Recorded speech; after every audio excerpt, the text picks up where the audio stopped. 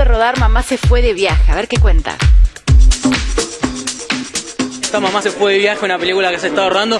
Y lo que me puedas adelantar, porque Carla Peterson está con vos también. Sí, es una comedia, eh, contrariamente a esta, que es una comedia más emotiva o dramática, aquella es una comedia completamente dislocada. Es un, un padre de familia con cuatro hijos, de dos, de ocho, de doce y de quince, que eh, es la primera vez que se queda con ellos porque la, la madre harta, eh, a punto de agarrarle un surmenage, eh, decide irse de viaje 10 días.